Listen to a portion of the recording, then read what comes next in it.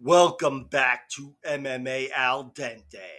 I am the guy who is desperately trying to project confidence here, even though I lost all my confidence last week when I got my ass kicked from the opening fight till the final fight. Even Charalampos Grigoriou had to snatch defeat from the jaws of victory. Couldn't even give me that one. But it's okay, because that was the shittiest fucking card in MMA history. But up here, we have a bona fide pay per view card in UFC 305. This one is stacked, and I plan on making things right from last week. We'll see how things go. But at the very least, we're going to see some awesome MMA. No more of this fucking Chelsea Chandler shit. Opening up the main card for UFC 305, we have Carlos Prates versus Li Jingliang. My prediction for this fight, and I say this with so much hesitation, you can't even fucking imagine. I'm going with Li Jingliang to win. The reason for the hesitation is because last week I got burnt chasing after every underdog on the card like a fucking idiot. But if you did put a gun to my head and said, hey, who wins, Prates or Lee? I'd go with Lee. But even if he wasn't my pick, he'd be my bet. He's sitting at plus 250, 5 to 2 underdog. Yeah, Lee's better than that. The doubt is that he's 36 years old and he's coming off of a two year layoff. That's not nothing. I'm 38 years old. I'm about to die. So he's on his way there. But Li Jingliang is still what I consider to be, who I consider to be the most dangerous welterweight in the UFC. He's been the first guy to knock out Elizeu Zaleski dos Santos, the first guy to knock out Muslim Salikov. The majority of his wins inside the octagon are knockouts. So even though Carlos Prates is such a potently dangerous knockout artist and a more diverse knockout artist, and I totally admit he could prove to be better and more dangerous than Lee as a UFC fighter. But Lee is still up there where his power is more than enough to threaten Carlos Prates in a way that he's not threatened by most other welterweights, even at the UFC level. And on top of all that, Li Jingliang, despite the two year layoff and all the other horseshit I just said, he's incredibly tough. He's got a lot of great traits that while you can have doubts starting to creep in, you can't be certain that any of these traits are going to fail him. He's never been knocked out. He's been knocked down a bunch, and I've revisited every one of those knockdowns coming into this fight here, but he's still never been knocked out. The two times he was submitted are technical rear naked chokes. Submitted to Keita Nakamura and Khamzat Chimaev. The technical part means he did not tap, which just speaks to another level of toughness for Li Jingliang and grit. So he's not a quitter.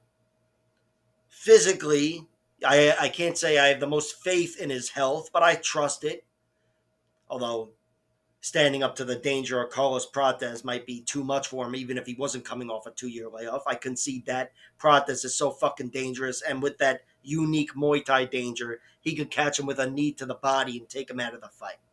But let me get back on track to blowing Lee here. And Lee, on top of all of his toughness and that power, he's got that UFC experience.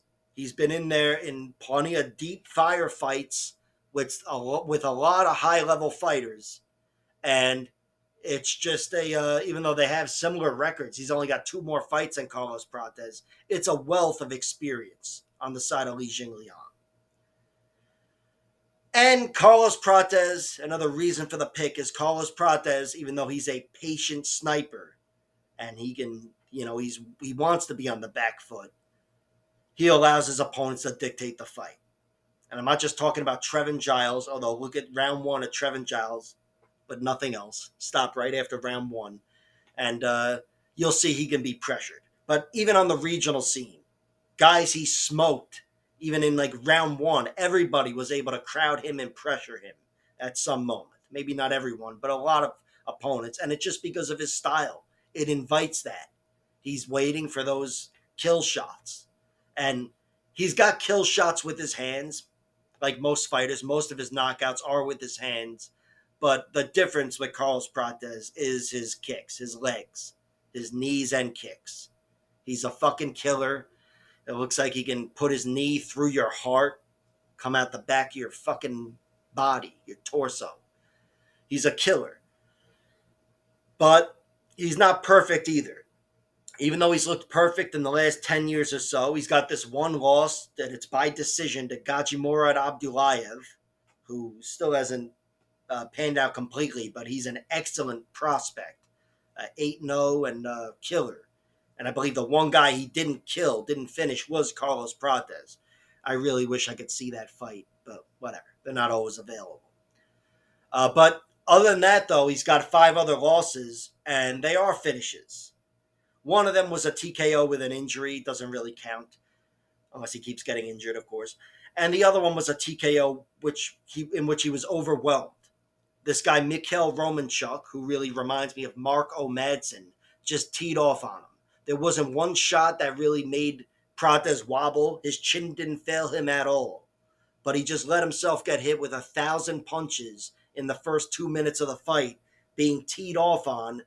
And you could see he was trying to do this calm under fire, wait for the perfect knee to the body routine. And he tried and tried, but it kept failing, kept getting teed off on. And then he just wasn't able to put out that fire and he succumbed to it a two minute loss where he wasn't able to adapt and got TKO'd.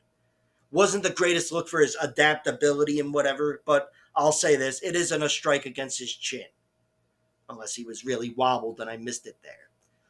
His other losses are by submission. They're, all of them are pretty much over 10 years ago. One of them's about 10 years ago. The other two even passed it. Uh, so you can pretty much dismiss those. I shouldn't be using the word submission too much in this video. I've already used it like five times. But just know that I know that one of the losses, it says it's to a triangle choke or whatever, and it's a Darce choke. Because MMA Al Dente watches the losses.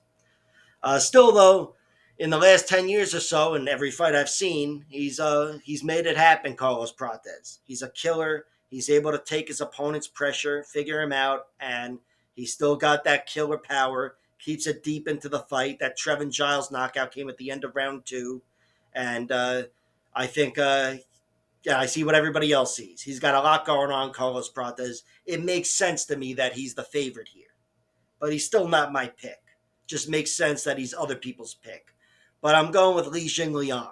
I think Li can crowd him, win that pressure battle. I think if it does go to the scorecards, Li would only be losing if he was uh, roughed up with some big moments for Carlos Prates. But otherwise, I think the pressure and the power and the punches from Li would be winning the points battle. And also, Li has got a great chance of having that next level power to knock out Carlos Prates, where he's uh, he can't be as comfortable on the back foot. You know, even somebody like Trevin Giles who's proven to have knockout power, he doesn't hit like Li Jingliang. You can't just give up a round to Li. So I think uh, Li's got a, a lot of good uh, different uh, factors in this fight in his direction and he is my pick to win.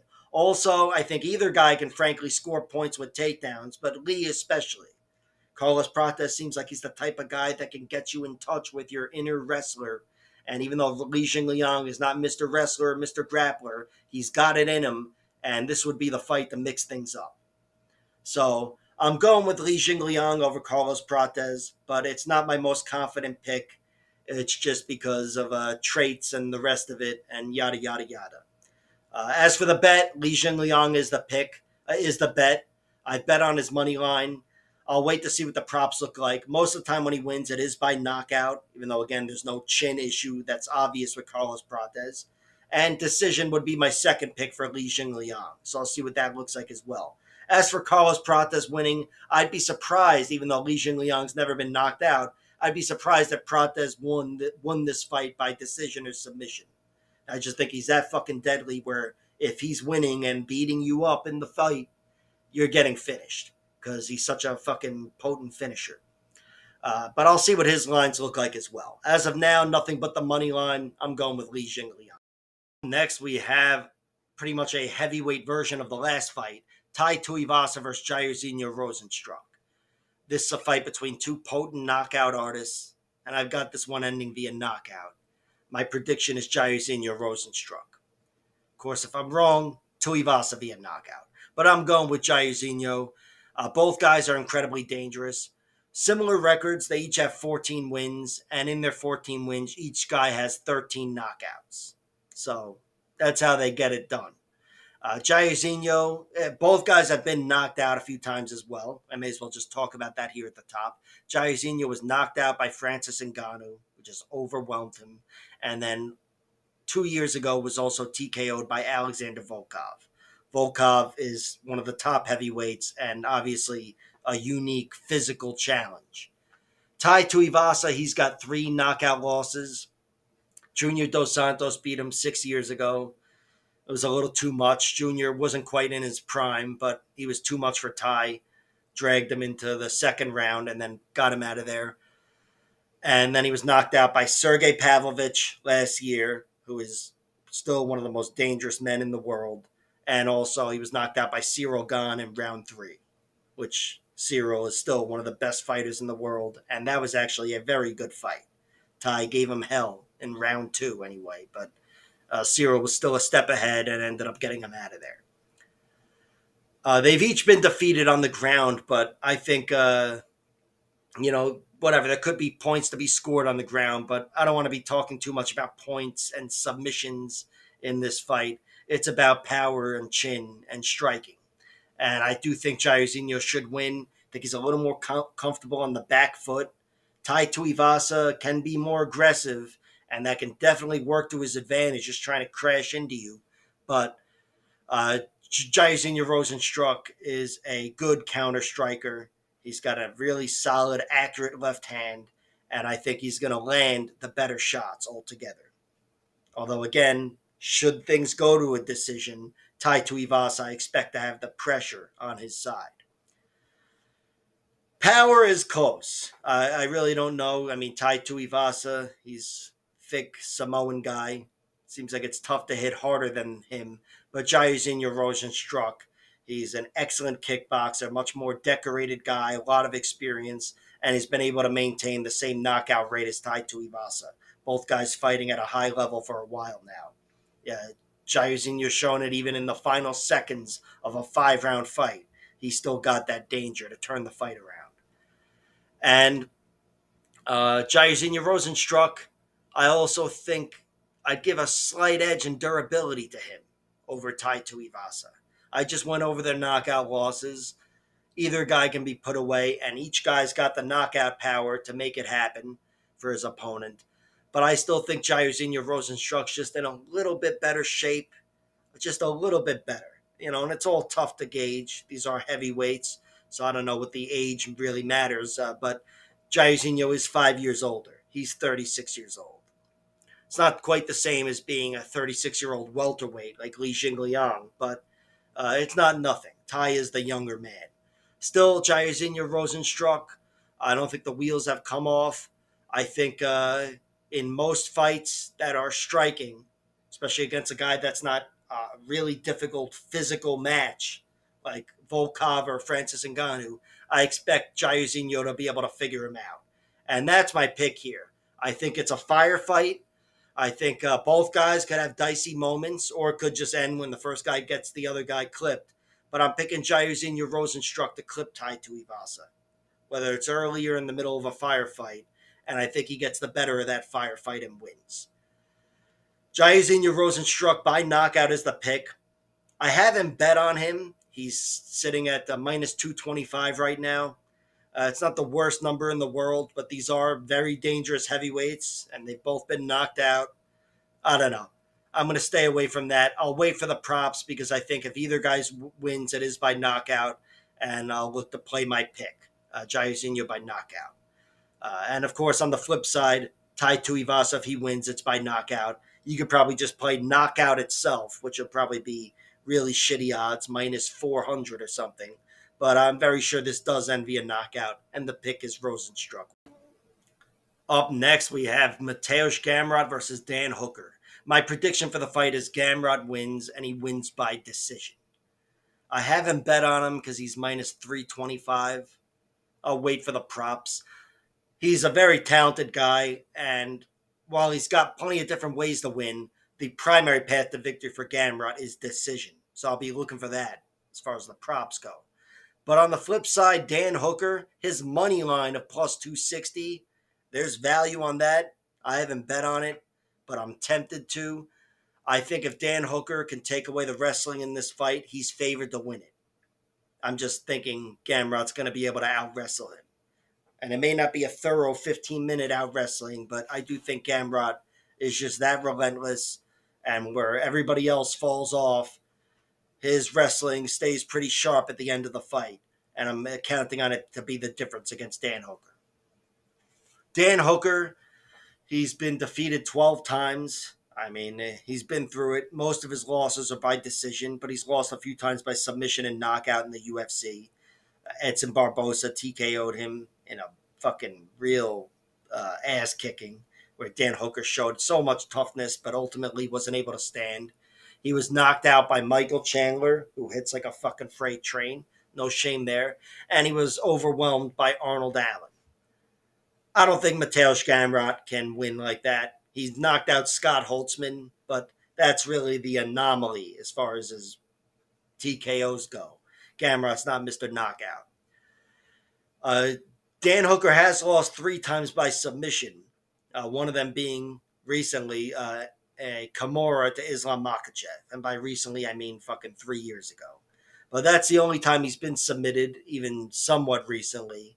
And while I don't think Gamrot can do that, uh, well, I don't think Gamrot will do that. He can do that. Gamrot's a very talented grappler. He had that same type of victory over Jeremy Stephens, just ripped his arm off. I think uh, Dan Hooker's got a little more to offer there, but still, it's a possibility. Uh, but Dan Hooker, his, uh, you know, even though he's not the easiest guy to just out wrestle, not a lot of his losses are him being out wrestled and uh, uh, losing by decision. But I still think it's possible here for Mateusz Gamrot because that is his style. He's got that relentless cardio wrestling that not a lot of other fighters have. And Gamrot also has durability to back it all up.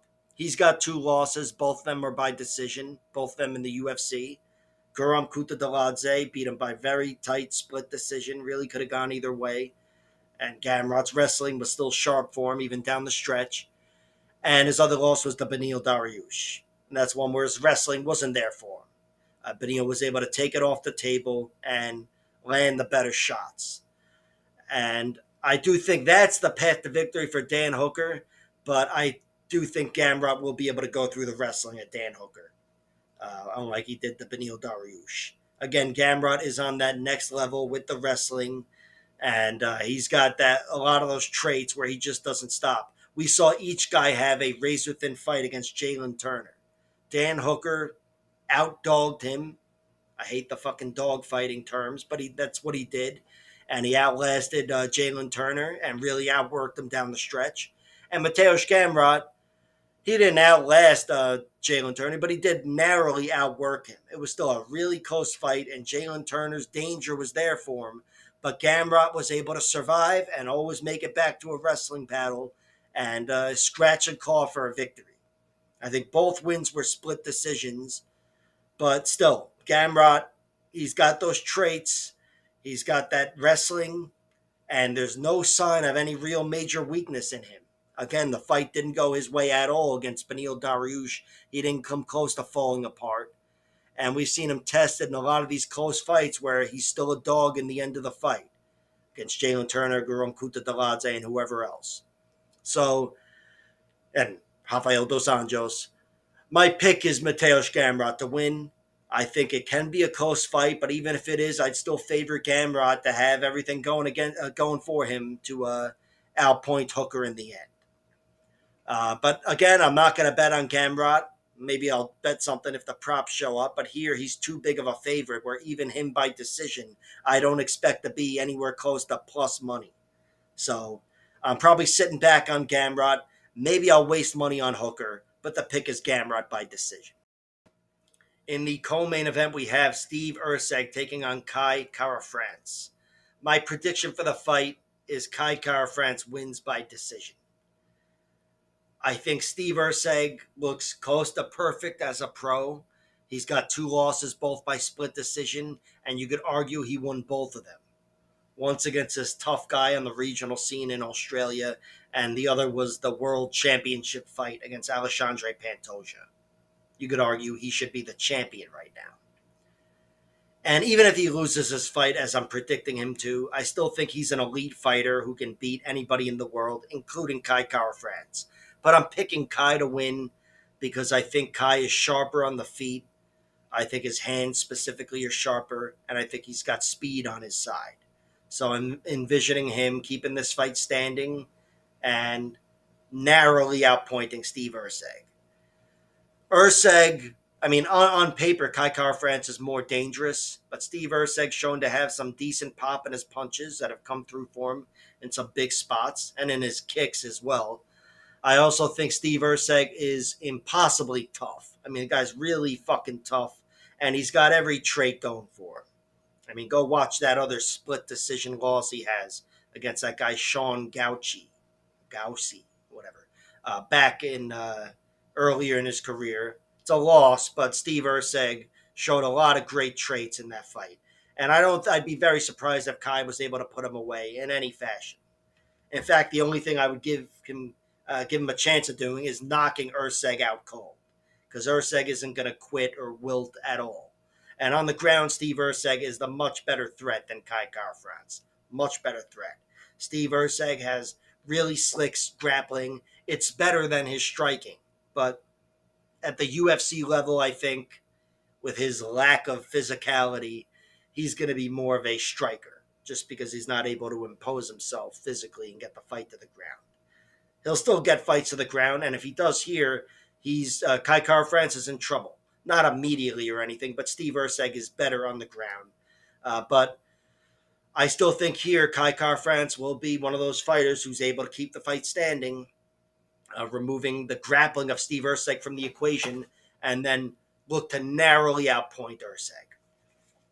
Erceg, his two losses have come by being out wrestled largely to Pantoja and the guy Sean Gauci, even though, again, you could argue he won both fights. But after watching him, you'd have to say that was probably the difference on the scorecards. Uh, and that is not something Kai Kara-France can do and you know I usually look to the losses for the blueprint on how to beat the guy and whatever. But I think Kai Kara-France will come up with a new blueprint here, and I think it is outpointing Steve Erceg on the feet with his hands. He's given up four inches of height, but he does have one inch of reach, Kai Kara-France, and even though he's, uh, you know, I was just talking about how Erceg is more dangerous uh, than he's given credit for, and how Erceg is incredibly tough. Kai Kara-France is the overall bigger threat on the feet. He does have 11 knockouts in his 24 wins. And say what you will about the durability of Cody Garbrandt and even Rogerio Bontorin, who got knocked out in his next fight, I believe. But Kai Kara-France has uh, his power has hit the surface a few times already when he's needed it to in the UFC. Uh, still, though, I think uh, this is a fight that will be close, even, even if Kai Kara-France wins. He's got to watch out for Steve Erceg striking can change the fight on a dime, as he did with David Dvorak, clipping him with a big kick. He's got some mean check hooks. And uh, Kai Kara-France, even though he's only been finished twice in the last uh, 10 years, let's say, and uh, incredibly high level guys, he is still the guy who has been finished. He was knocked out twice a while ago, well over a decade ago. And then his only other knockout loss was the body kick to Brandon Moreno in the interim title fight, or whatever that was in round three. And his uh, only submission loss in the last few years has in the last 10 years has been to Brandon Royval, who is an incredibly dangerous submission artist, uh, just uh, incredibly dangerous. And uh, that was a wild fight anyway. So, uh, whatever, there's a little forgiveness there with the durability of Kai Kara-France. But I do acknowledge that, yeah, despite fighting the much better competition over the last 10 years, he's the guy who has been finished. So just know that I know that. But again, I'm going with Kai Kara-France. He's a guy who has been controlled and he's bounced back. That Askar Askarov fight was a great example of all of his traits coming together and getting him his best victory. Askar Askarov's an incredible victory to have. And Kai Kara-France scratch and clawed and took away that whole realm of grappling and uh, really took over the fight after round one. So I'm taking Kai here. It'll be close, but I've got him winning by decision. He is my bet as well at plus 155, and I will uh, plus 154, if you will. And I'll wait for the props too, because I think if he does win this fight, I'm very sure it's by decision. Again, he's got good pop in his punches and all the rest of it. Steve Erceg is really fucking tough. And when the going gets tough and shit goes against him, he doesn't wilt at all. So, uh, Kai Kara-France by decision is the pick, and that will be the bet when the props. And in the main event of the evening, we have Dricus Du Plessis defending his middleweight championship of the world against Israel Adesanya. My prediction for this fight is Dricus Du Plessis wins, and I guess I'll go with him winning by decision, even though it doesn't make a lot of sense based on his record. Uh, but I think he's going to need to rip the fight to the mat to win this. On the flip side, I think Israel Adesanya's only real path to victory is knockout. And I know I've seen every one of his fights. I know he's won plenty of times at the UFC championship level by comfortably cruising to a decision. But I don't think that's a path to victory against Dricus. I think Dricus, if he's going to lose this fight, it's him getting clipped. He's had sloppy striking that I've been critical of for since, since I've known the guy or known of him and Israel Adesanya is precisely the kind of guy to exploit striky slop, uh, sloppy striking or striky slopping. They'll exploit that too. Uh, but Adesanya, despite getting older, now he's 35 years old, just turned 35 recently, and he lost a year ago to Sean Strickland. Wasn't his best performance. He got clipped early, hurt really badly, survived, even briefly took back control of the fight but then was just slowly dying a slow death against the pressure of Sean Strickland.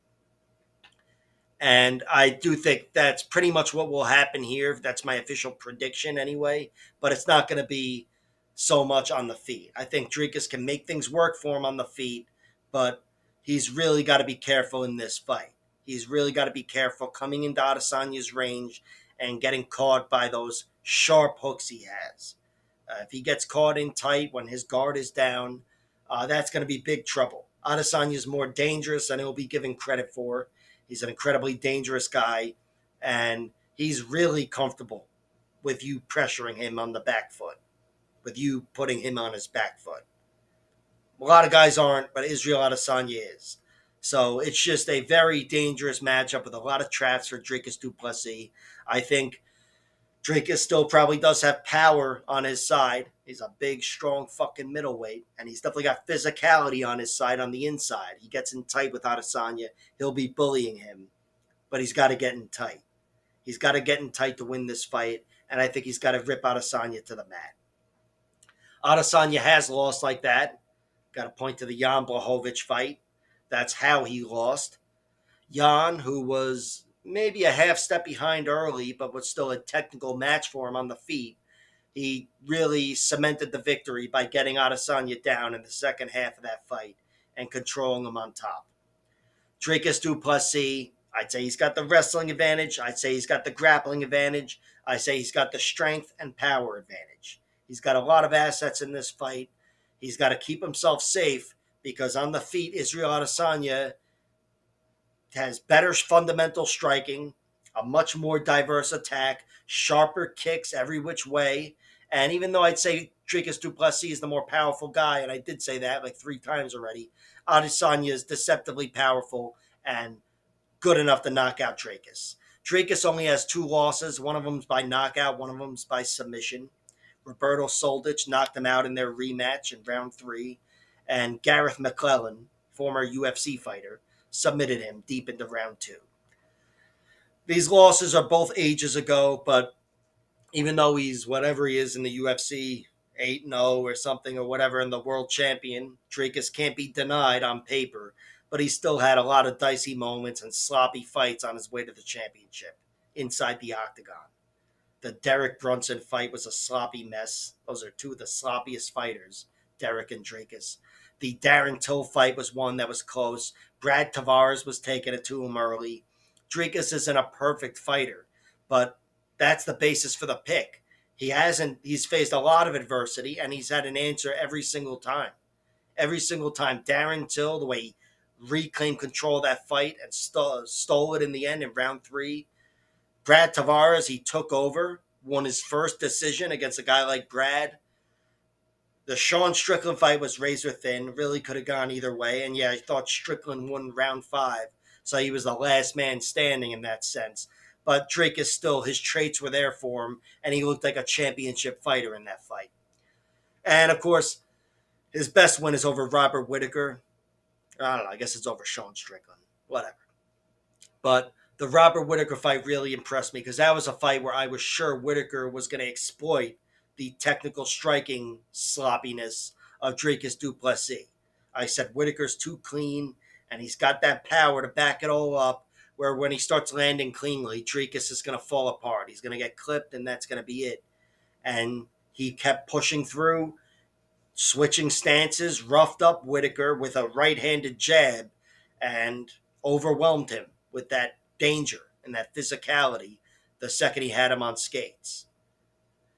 He's had an answer for every question, and that's the basis for the pick. That combined with Adesanya getting knocked out by Pereira in round five in a fight he was winning, uh, and also getting roughed up and beaten by Sean Strickland. That was really the pressure that beat him in that fight by decision. But we can't forget round one where he was clipped very badly, dropped and pounded. So I uh, I'm going with Dricus. I I think his path to victory is ripping Adesanya to the mat. Uh, he's got the smallest of chances, but he does have a chance of a, of a knockout standing, and on the ground he's better where rather than just sitting on top of him like Jan Blachowicz, Dricus is a little more active. He might be able to make something work grappling wise on the ground. To be honest, I would advise against that. I think he'd be better off going the Jan Blachowicz route and keeping Adesanya on his back. Whatever Adesanya has to offer grappling wise, and it's not nothing. You saw the triangle choke against uh, Kelvin Gastelum in the final minute of the fight or whatever. I think, uh, or whatever that was. I think Dricus will be able to survive anything Adesanya has on the ground, and he's winning that fight in any position. So is he uh Dricus by decision is the pick, although he's got more ways to win. And as for a hedge, Adesanya by knockout is the hedge. I think if Israel Adesanya wins, I'm very sure it's by knockout with the pressure from Dricus and the power and the wrestling, the rest of it. I don't think he's as likely to win a decision here as he is against Marvin Vettori and Jared Cannonier and the rest of them.